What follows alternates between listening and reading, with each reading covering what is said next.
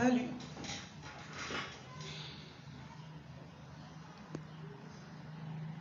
Alors, euh, vous allez bien, je suppose. Ici, c'est Jocelyne. Je suis coach en développement personnel, incubatrice de potentiel. Je me vois euh, comme euh, cette personne qui vous donne un environnement qui va pouvoir favoriser la croissance, le développement de votre rêve et de vos talents. Vous savez, ce n'est pas toujours facile. Ce n'est pas toujours facile de trouver des gens autour de nous qui vont croire en ce qu'on a en l'intérieur de nous. C'est pas facile de trouver des gens qui vont se dire waouh, je crois que tu peux accomplir quelque chose.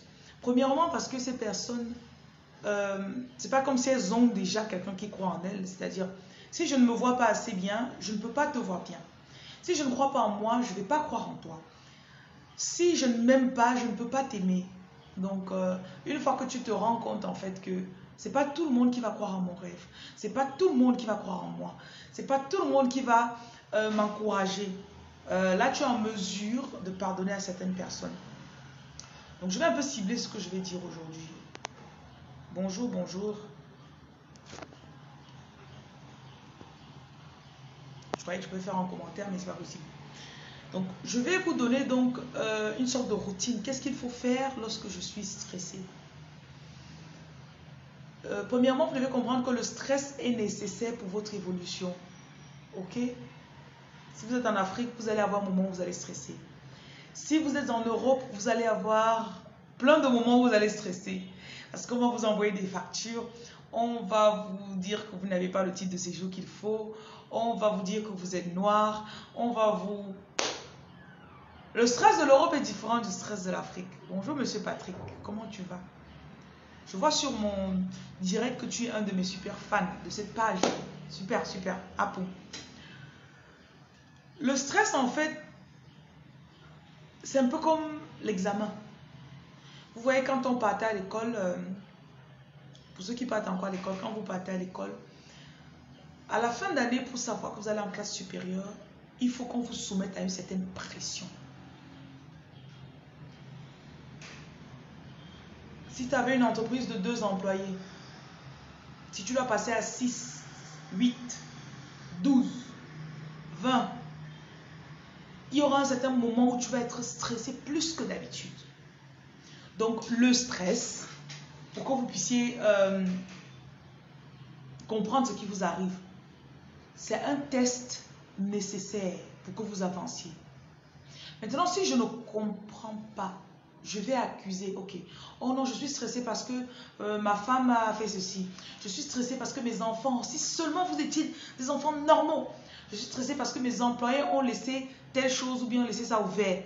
Si seulement vous étiez des meilleurs employés. Oui.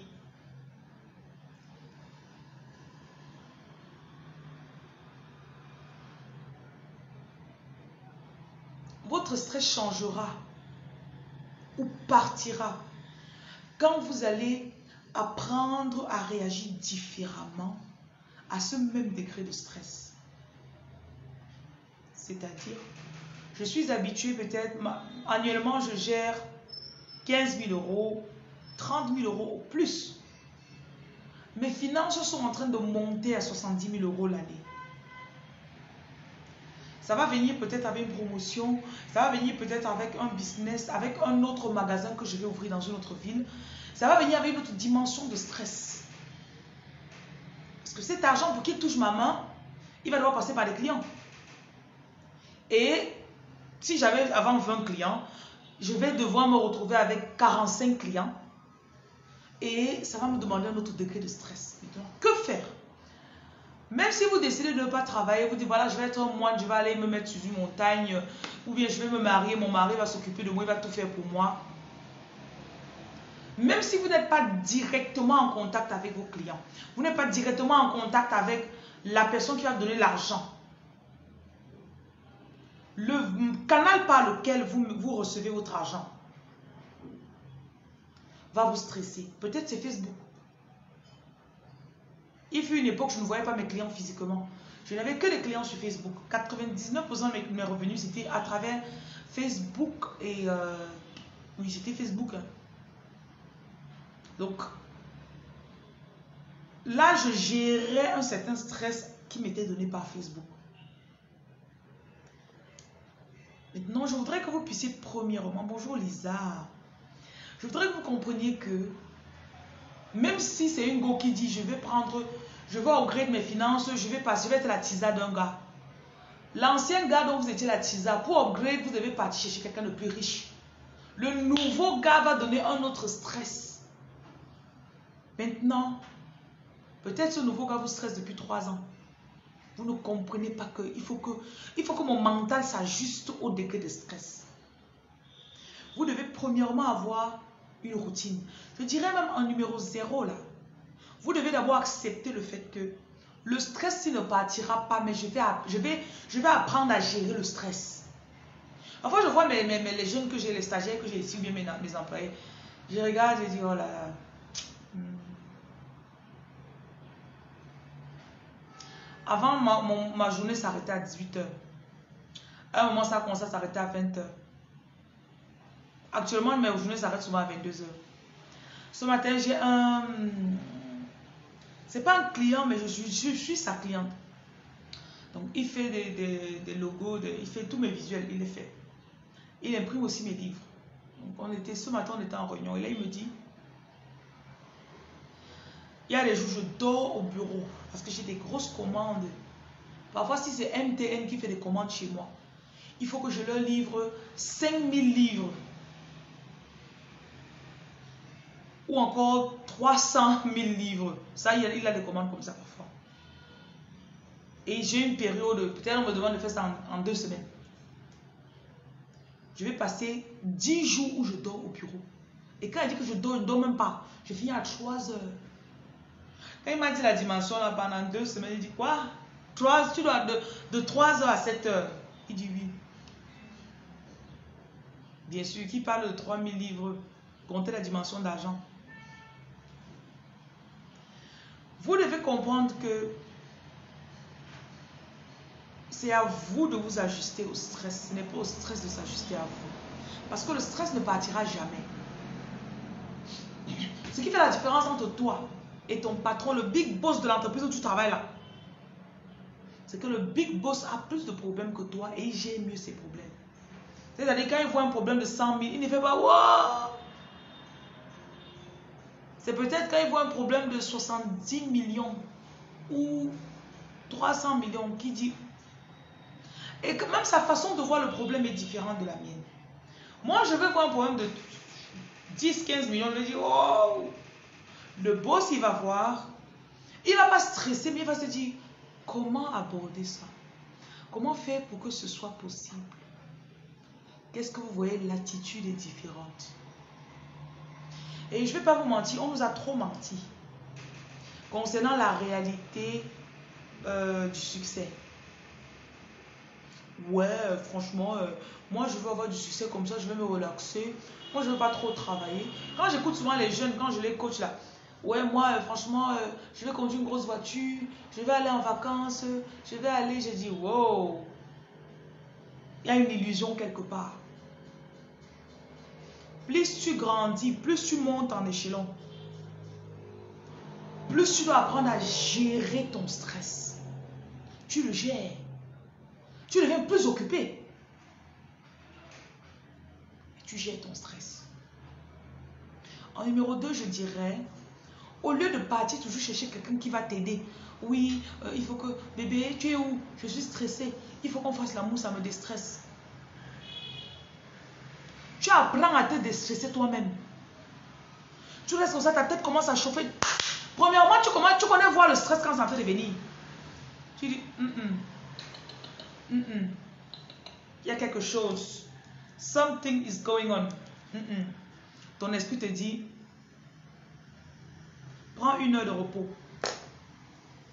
Mais non, j'ai à faire ça. Il faut que je là-bas. Il faut que je là-bas. Ton esprit te dit, Prends l'après-midi, tu te reposes. Non, non, non, non, non, non, non, non, non, je dois récupérer l'argent là-bas, je dois partir là-bas. Prends quelques heures, je te repose. Premièrement, je peux déjà, je peux d'abord lire. Je peux lire les choses. Je peux lire la tendance. C'est vrai que je devais aller là-bas, là-bas, là-bas. On stoppe tout. Vous, vous connaissez le mode avion sur le téléphone? Le mode avion. C'est-à-dire, j'arrête et personne ne peut m'appeler. Aucune notification ne peut arriver sur mon téléphone. Je me coupe. Vous devez savoir anticiper votre stress très tôt. C'est-à-dire, si je pète les plombs, je réponds n'importe comment, je deviens « Oh, laissez-moi tranquille !» Quand je suis stressé à 80%, vous devez vous entraîner pour lire quand vous êtes déjà à 10%, 15%, 20%. Parce que les personnes qui vont payer quand vous êtes stressé, parfois c'est votre business, ce que vous aimez ou ceux que vous aimez. Parce que lorsque vous êtes stressé, pour se sentir mieux, on veut forcément... Non, moi, je dois, je dois dire, et forcément les femmes, les femmes, moi-même, je suis là, moi, moi, moi. Moi, je veux plus être avec toi. Hein, tu m'énerves, je ne t'aime plus. Pouf, on bazarde de ça. Parce qu'il faut que le gars se sente mal. Il faut qu'il sente ton stress. Ok.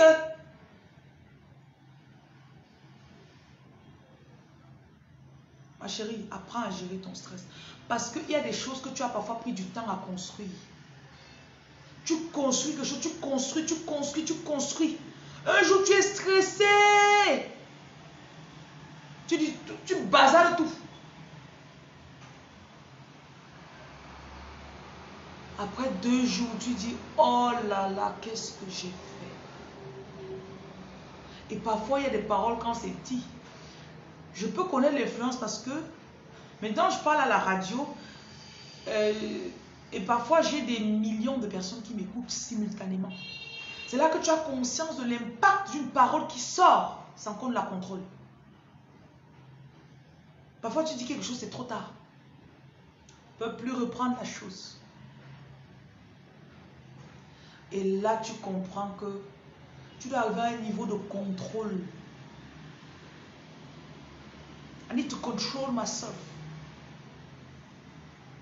Je dois anticiper le stress. Je dois lire le stress. Quand je le lis, généralement chez moi, récemment, comme par hasard, je me suis retrouvée mon docteur. Et là, j'ai demandé à mon employé de m'apporter, ok, fais ça, tu apportes pour qu'on mange. Elle a mis 15 minutes. Et je me dis, pas possible ça. Je l'appelle, je barbarde, je me fâche. Oui, je me fâche souvent. Hein. Les employés connaissent. Je ne suis pas fière de ça, mais...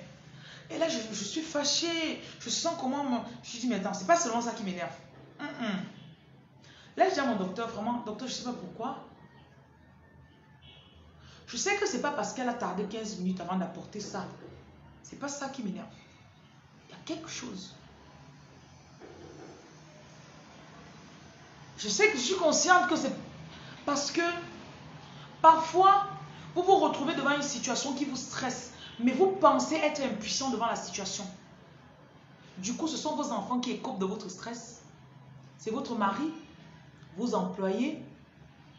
Bref, les personnes impuissantes. Vos enfants, si vous voulez gronder vos enfants, l'enfant ne va pas dire « Maman ne me gronde plus ». Non. L'enfant n'a pas le choix, il doit vous écouter, il doit subir le stress. Ouais, hein, tu me caractère de bête enfant. C'est toujours comme ça que tu fais. Hein, tu vas jamais rien dans ta vie. En fait, ce n'est pas l'enfant qui t'énerve. Ce n'est pas l'enfant qui t'énerve. Il y a quelque chose. Back up, back up, girl. Go back. Pourquoi l'enfant se m'énerve comme ça? Ce n'est pas quand même parce qu'il a cassé le verre. C'est pas parce qu'il a eu la sous-moyenne.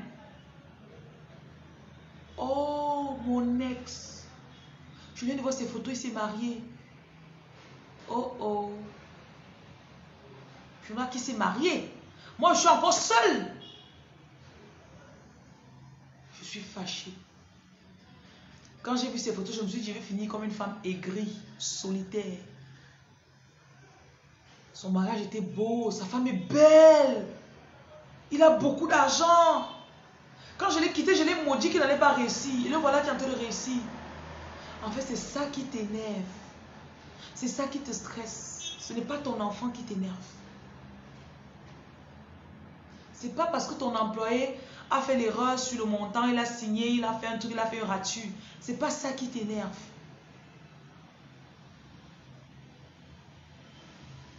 C'est parce que ça fait 5 ans que tu as déposé ton application, on t'a jamais répondu. Tu n'as jamais eu tes papiers depuis 5 ans. Tu restes comme ça, tu vois que tes amis ont construit la maison déjà. Voilà le troisième immeuble que ton camarade de classe a construit. Ça te stresse, ça t'énerve. On va te dire que qu'est-ce que venu faire en Europe On est venu accompagner les gens. Me voilà, 10 ans dans une entreprise, je n'ai même pas, un terrain que j'ai acheté. Voilà ton vrai problème. Ce n'est pas parce que ta go, oui, non, ce n'est pas parce qu'elle n'a pas préparé. Tu es rentré, il est 16 heures, elle se met à s'occuper des enfants, elle n'a pas ton temps. Ce n'est pas ça ton problème. Parce que tu es conscient. Tu as pris la fille de quelqu'un chez eux. Tu es avec elle depuis 8 ans. Vous tournez en rond comme ça là, vous tournez, vous tournez. Tu n'as rien fait. Vous devez pouvoir vous maîtriser. Identifier pourquoi vous êtes en train de vous sentir mal. Parce que ce qui va... La, la, la chose suivante, c'est que vous allez aller déverser ça sur quelqu'un d'autre. J'ai regardé une vidéo une fois, une vidéo de motivation qu'ils mettent en ligne là. Et euh, c'était une jeune fille qui se lève le matin. Elle sort de la maison et puis elle cogne un monsieur. Et le monsieur avait une boule noire. Il lui donne. Bon, la boule noire, en fait, il était, fâché, il lui a crié dessus. Ah, tu peux pas t'attendre. Il prend la boule noire, il lui donne. Elle prend la boule, elle arrive chez le, fleuriste et je ne sais pas trop ce qui se passe, un truc, quelqu'un l'énerve. Elle prend la boule, elle donne à une autre personne. Le fleuriste prend la boule, il donne à sa femme.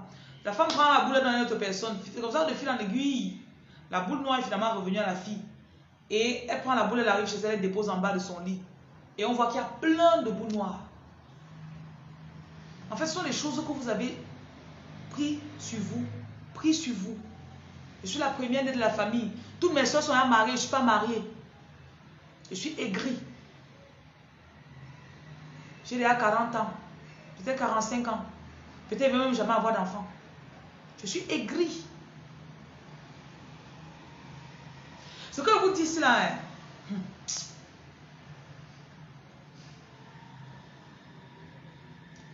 c'est en fait comme si c'est quelque chose qui vous attache ça contrôle votre réaction. Ça contrôle vos pensées.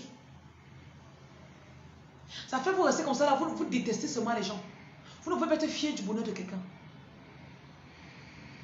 Et ça met des pensées noires dans votre esprit. Les pensées noires. Ça fait vous mal parler des gens. Eh oui, oui, elle croit même que regarde là. Ah, on m'a dit qu'elle couche avec un gars. C'est le gars là qui a payé la voiture là. Ah, pardon, la fille en a rien fait. Pardon. Le stress. Quand vous ressentez ça, prenez du temps, vous vous asseyez. Demandez-vous juste, est-ce qu'il y a quelqu'un à qui je n'ai pas pardonné? Est-ce que moi, je suis fâché avec moi parce qu'il y a des choses que les gens sont venus me dire, tu es censé avoir déjà construit la maison. Tu es censé déjà avoir fait ça. Tu es censé avoir... Peut-être tu as commencé à sortir avec un homme, on t'a dit ne sors pas avec lui. Tu vas dire, ah voilà, je, je, maîtrise. Je maîtrise la situation. Cinq ans plus tard, il t'a bombé les enfants. Il a vidé ton compte bancaire, il avec tout ton argent. Et là, tu es devenu aigri. Analyse, est-ce que tu es fâché avec toi-même? Est-ce que c'est le père de tes enfants? Est-ce que vous savez qu'il y a beaucoup de femmes qui détestent le père de leurs enfants Vos enfants subissent ta tête comme pour ton père. va là-bas.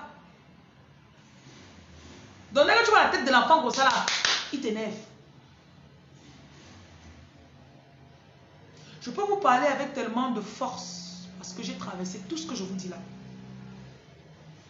J'ai détesté mon père à un moment de ma vie parce qu'il pensait, ouais, tu aimes mes frères plus que moi.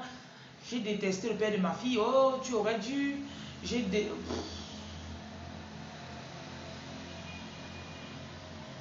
Et comme je l'ai encore dit, ça t'attache en fait. Ces gens, c'est des émotions qui se remplissent, ça remplit tes bras, ton cœur. Tu n'arrives pas à dire à ton enfant, je t'aime. Tu n'arrives pas à dire à quelqu'un, excuse-moi. Tu n'arrives pas à dire à quelqu'un, tu avais raison. Vraiment, tu avais raison, je n'aurais pas dû faire ça. J'aurais dû t'écouter à cela trois ans. Tu n'arrives pas à dire ça. L'orgueil. L'orgueil. Je n'avais pas prévu d'être aussi deep aujourd'hui. Je ne sais pas pourquoi je, je vais dans des profondeurs.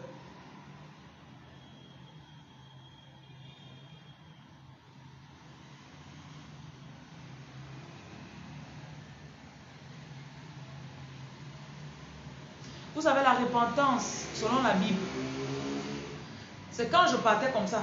J'ai l'habitude, on sait que non, elle là, pardon. On connaît que tu vas dans telle direction. Se repentir, ça veut dire que tu dis, oh non, je partais dans la mauvaise direction. Je me comportais mal avec ma belle famille. Je parlais mal de telle personne. Je vais arrêter. Je me tourne. J'arrête d'aller comme ça. Je me tourne. Je vais à l'opposé. À partir de ce moment-là, euh, c'est comment avec le père de ta fille, bien c'est comment avec ton, ton ex là? Ah non, non, il va bien, oh, franchement. Et c'est ce qui s'est marié. Oh, sa femme est belle. Je suis allée visiter leur enfant l'autre jour. Ah bon? Alors qu'il t'a utilisé pendant 8 ans, il t'a abandonné. Non, non, non, franchement. Ils ont déjà construit. Hein. Pas d'animosité. Tu n'es plus un véhicule d'amertume. Tu n'es plus un vecteur. Tu n'es plus un producteur d'amertume. Tu ne souhaites plus mal à d'autres personnes. Non, tu vas mourir en enfer. Tu es faible aux fesses. J'avais envie de rire, il fallait qu'ils disent ça. il y a des femmes qui gardent l'image des hommes. Tu es faible aux fesses. Ah. L'animosité ne me nuit qu'à moi. L'amertume ne me nuit qu'à moi. Il y a cela une semaine, j'ai rencontré mon ex-mari. Waouh! Waouh! Vous d'ailleurs que je poste notre photo ici. Les gens m'ont parlé. Ça faisait peut-être trois jours avant ça, trois jours avant ça. J'ai rencontré quelqu'un qui, qui lui ressemblait énormément. Et là, mes pensées dans mon esprit, c'était, oh, est-ce que tu es au Cameroun actuellement? Où que tu sois, je te souhaite du bonheur. Je te souhaite du bonheur. Et ça, vraiment, ça a été ma pensée. Trois jours plus tard, j'arrive au centre pour travailler avec les enfants. Je vois quelqu'un qui lui ressemble. Je, hmm, je vais d'abord finir ce que je fais, j'ai à faire. Je reviens. Et là, effectivement, c'est lui. Vous savez ce qu'il me dit? On s'est d'abord vu. Oh, comment tu vas? On s'est fait la bise. Il était aussi sourire. Je, vais poster ma, notre photo. Les gens nous disent qu'on est comme frère et soeur. On a notre sourire comme ça. Et là, on s'est dit, oh my God, on a parlé du bon vieux temps. Comment on s'est séparés? Et là, il me dit, ouais, je sais que tu voulais tout qu'elle vienne faire le sport. Je suis venu faire le sport ce matin. Tu as eu un bon impact sur ma vie, tu sais ça? Il y a des choses que tu voulais que je fasse à l'époque. Je ne comprenais pas. Et là, je lui dis, tu sais quoi, tu étais très fort. Je me suis rendu compte de la pression que tu, as, tu avais à l'époque. Je ne sais même pas comment tu as fait à ton âge pour assumer autant de pression. Et là, il y a eu certains de ses amis qui sont arrivés. Dit, je vous ai jamais présenté ma femme. C'est ma femme, mais je l'ai épousée, je l'ai épousée. Et on a commencé à rire. Ça m'a fait vraiment plaisir. Ça, c'est. Ça m'a pris vraiment du temps pour pardonner. Il ne m'a rien fait de mal. Vous avez sûrement écouté mon histoire sur la page, c'est encore là. Hein. Mais je me suis rendu compte que parfois à travers notre façon d'être, on pousse des gens à nous faire mal. C'est pas que les personnes sont mauvaises, mais c'est... Je vais prendre l'exemple. Tu rencontres peut-être un gars, il dit, oh, les gens prennent ma marchandise, ils ne payent pas. Oh, les gens prennent ma marchandise, ils ne payent pas. Tu dis, oh, ok. Tu prends la marchandise. Tu veux payer Il dit, non, non, non, t'inquiète pas, tu peux aller, ça va. Non, t'inquiète pas, paye-moi quand tu peux. Tu pars. Le soir, tu as des problèmes. Un mois plus tard, tu as des problèmes. Problème, problème, problème, problème, problème. Deux mois plus tard, il te contacte. Tu n'as pas payé ma marchandise, pourquoi? Hein? Tu as fait comme tout le monde. En fait, je voulais te payer. Tu as refusé. Et c'est sûrement comme ça que tu fais avec tout le monde. Maintenant, si, toi, tu changes l'attitude que tu as, tu mets ta marchandise, tu mets le prix, tu dis paye avant d'être servi, point barre. Quelqu'un a dit paye, anti-paye, anti-paye. Tu vas voir que en quelques semaines, tu vas arrêter de dire les gens prennent ma marchandise, ne me payent pas. Parce que toi, d'abord, le vendeur, tu as changé ton attitude. J'ai compris que c'est quand tu te vends moins cher qu'on te prend sans te payer. Et en fait, aucune personne dans ma vie ne m'a fait du mal.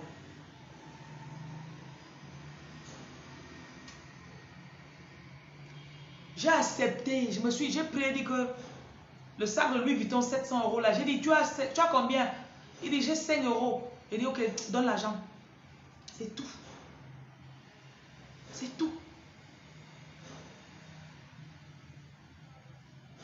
Donc en dernier, j'ai dit, vous devez avoir, je dis que je suis en train de dire comment gérer son stress. En dernier, vous devez avoir une routine. Donc à part le fait que je vois le stress de loin, que je pardonne et que je laisse les gens partir, et que j'anticipe même le stress et que j'adresse la chose, vous devez avoir une routine. C'est-à-dire, si je me retrouve et puis, je ne sais pas trop quoi, je me retrouve, je suis stressée. Parce que le stress, c'est un train de pensée dans la tête. Tu ne peux pas, tu crois même que quoi? Regarde, l'argent ne vient pas. Regarde, ça fait trois semaines. Oui, voilà, tu as, tu, as ton délai pour payer, c'est demain. Tu n'as pas l'argent. Tu vas faire comment? Hein Hein Voilà, personne, ils t'ont pas encore. Voilà le stress. C'est que je puisse, puisque c'est dans tes pensées, que tu apprennes à reprogrammer tes pensées. Premièrement, le prince de la paix, c'est qui? C'est Jésus. Je lui demande de t'aider. Ask Jesus to help you. Deuxièmement, lis la parole. Troisièmement, il faut avoir des vidéos comme des sermons, des livres, des déclarations. Donc, un train de déclaration que tu sais que quand je suis stressé, soit tu as des audios sur ton téléphone que tu enregistres avec, avec ta propre voix. Genre, je suis courageuse. Je maîtrise. Je ne mets pas le cœur. Ça paraît fou, mais vous devez arriver à un niveau où vous êtes imperturbable. Écoutez-moi bien. Vous devez arriver à un niveau où vous êtes imperturbable. Vous êtes comme ça.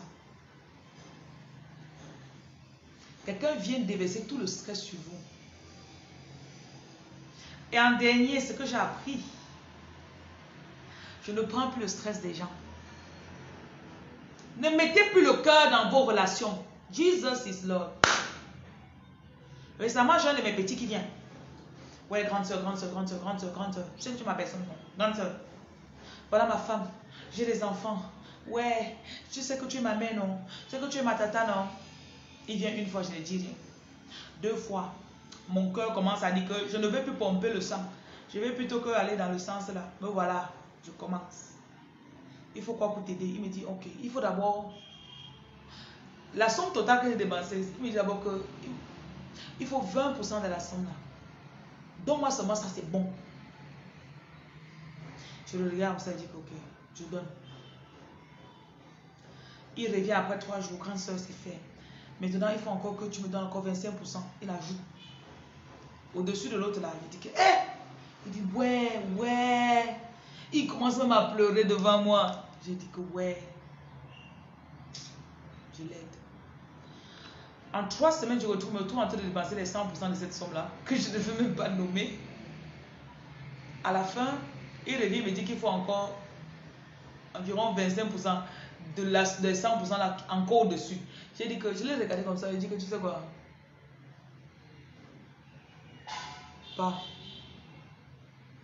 Parce que son stress devenait le mien. Parce que je mettais le cœur sur ça, je mettais les poumons.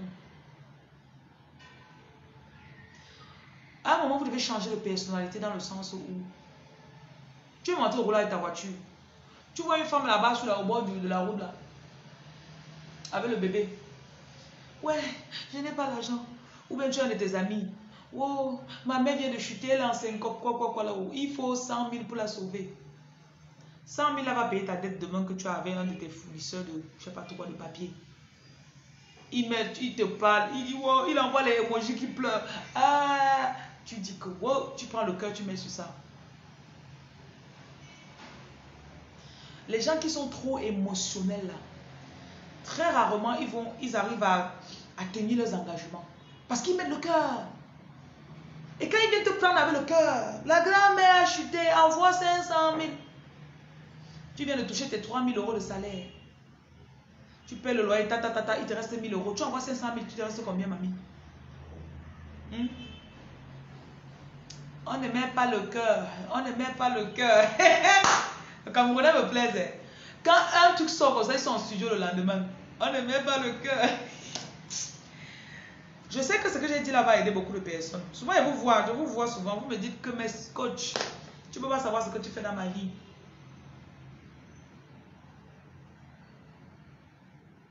Hmm. Ah, on ne met pas le cœur.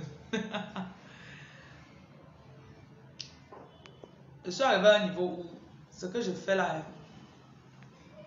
la page ici, c'est devenu, c'est même plus que la mission, de la mission, de la mission.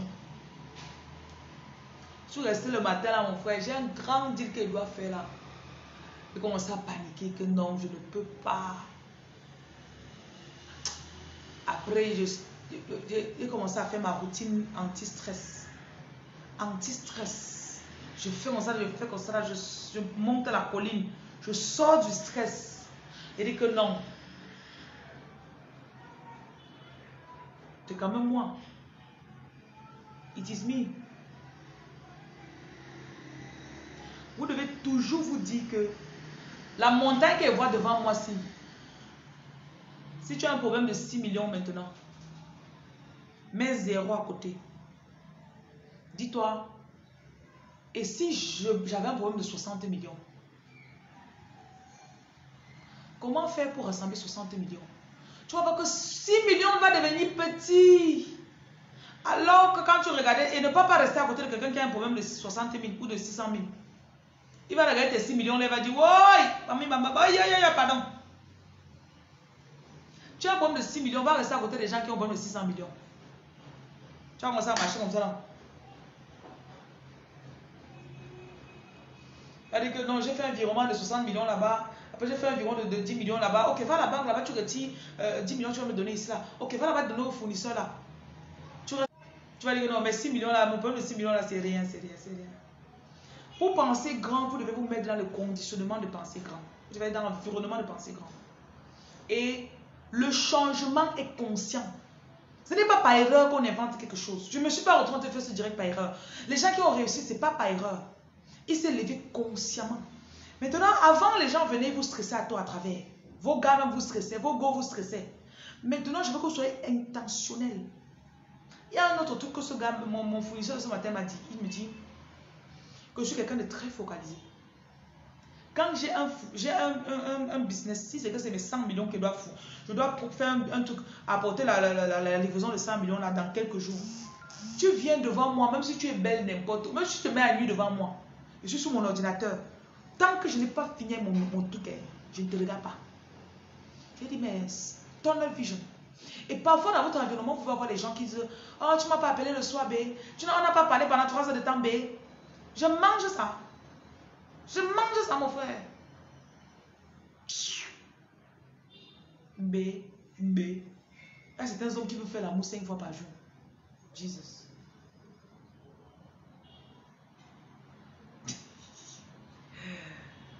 Ah.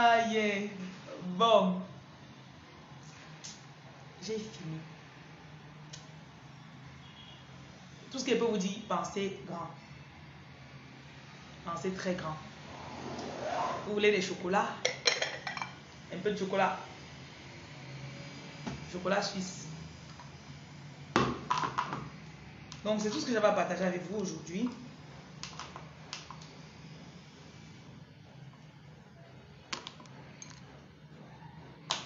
Je suppose que vous n'avez pas de questions. N'est-ce pas? You do not have questions.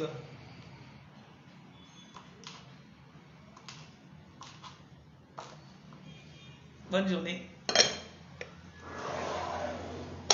Que le Seigneur vous protège.